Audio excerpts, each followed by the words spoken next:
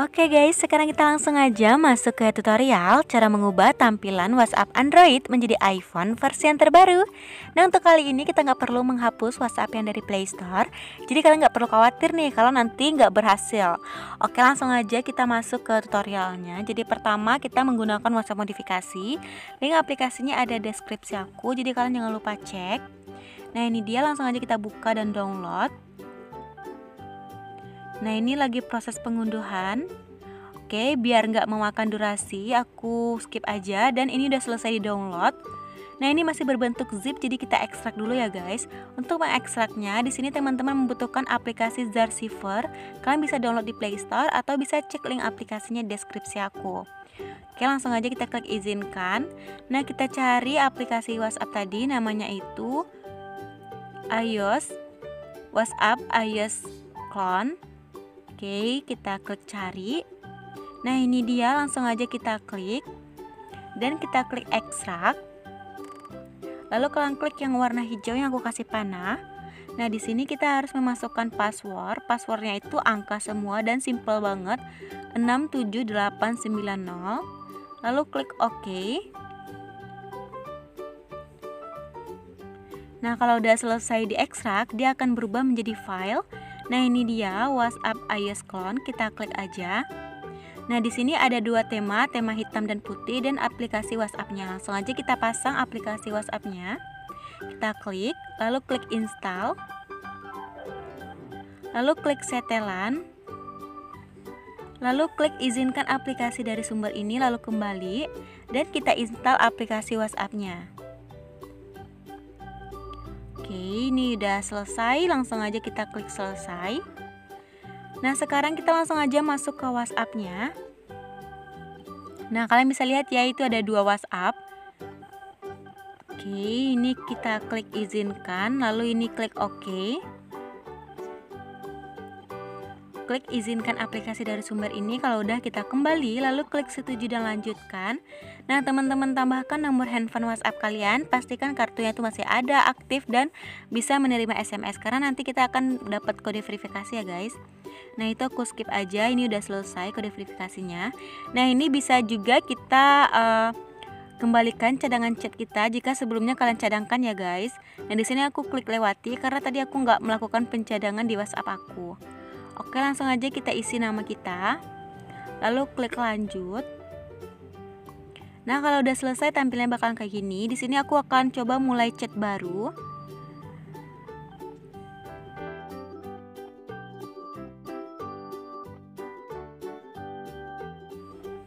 Oke ini dia untuk tampilannya sebenarnya udah mirip sama iPhone cuman untuk bagian room chatnya nggak mirip Nah sekarang kita ubah menjadi 100% iPhone Caranya kalian klik yang setelan lalu klik MB Preference, lalu klik di bagian tema,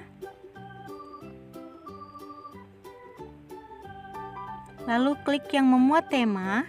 Nah, setelah itu kita cari file yang WhatsApp iOS clone tadi. Nah, ini dia, langsung aja kita klik dan teman-teman pilih mau tema hitam atau putih. Nah, di sini aku terapkan tema putih ya, guys. Oke guys, ini dia untuk hasilnya. Nah, kalau misalkan ada tampilan kayak gini, kita klik yang agree.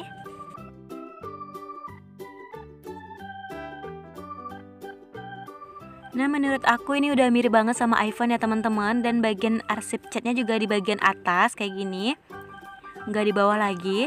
Dan untuk room chatnya juga mirip sama iPhone. Nanti kita bisa hilangkan yang titik tiga itu ya teman-teman. Dan dia juga ada angka. Oh ya di sini emojinya juga masih Android. Jadi kita ubah aja menjadi emoji iPhone. Caranya itu kalian klik yang setelan. Lalu klik di bagian MB Preference. Lalu klik di bagian umum. Lalu kalian klik gaya tampilan dan nuansa. Setelah itu kalian pilih yang all WhatsApp iOS. Sebelumnya kita download terlebih dahulu Oke, ini udah selesai di download. Langsung aja kita pilih all WhatsApp iOS-nya. Nah, jika kalian lihat di bawah di sana tuh ada gaya tulisan. Kalian bisa pilih mau font yang mana. Ini tuh banyak banget ya pilihannya. Oke, untuk iPhone biasanya tuh robot Roboto Medium ya teman-teman. Aku pilih yang itu. Lalu icon peluncurnya bisa kita ubah juga. Ini adalah logo aplikasi. Lalu ubah icon notifikasi bisa kalian ubah juga warnanya. Jadi di sini ada banyak fitur ya teman-teman. Nah langsung aja kita cek apakah emojinya udah berubah menjadi emoji iPhone. Oke, ini dia hasilnya. Oke guys, ini dia hasilnya. Emojinya udah berubah menjadi iPhone walaupun kita kirim juga iPhone ya teman-teman.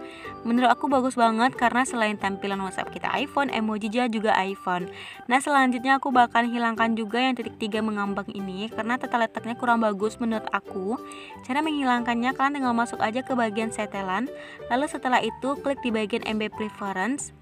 Nah, klik pengaturan lain, lalu kalian klik yang sembunyikan tombol mengambang di dalam percakapan. Lalu ini kita aktifkan aja.